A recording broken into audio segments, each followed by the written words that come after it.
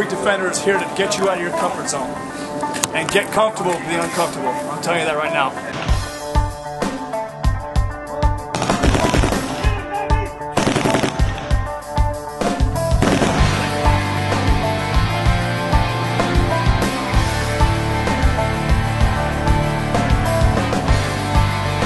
All right, guys, this is it. We're in that day of training. We're starting to hit that run phase, fool. Y'all ready to train tonight? All